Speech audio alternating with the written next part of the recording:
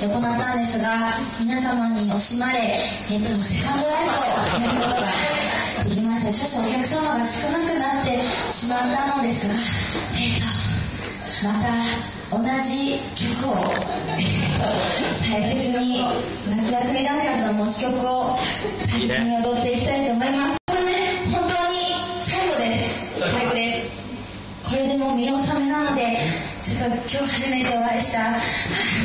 ごめんなさい皆さんもすみません急に楽しんでいただけたらと思います、次の曲は？次の曲は3曲、えー夏休みメドレーをお送りします。でねさらにさらに盛り上がって踊ってほしいと思いますのでもう夏休みも今日で最後ですよ。イエイ。もう終わってますよ。